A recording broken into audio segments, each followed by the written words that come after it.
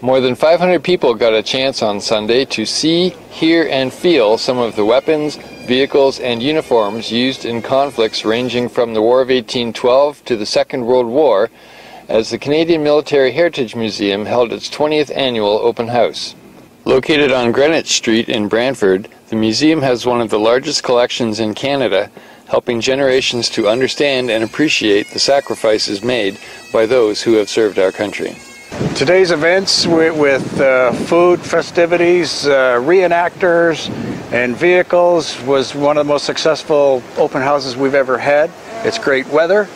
It's uh, it's lots of people coming from Brantford, Brant County, and outside the uh, the county to come and visit us. We're having a great, day, very successful day. Reporting for the Expositor, I'm Brian Thompson.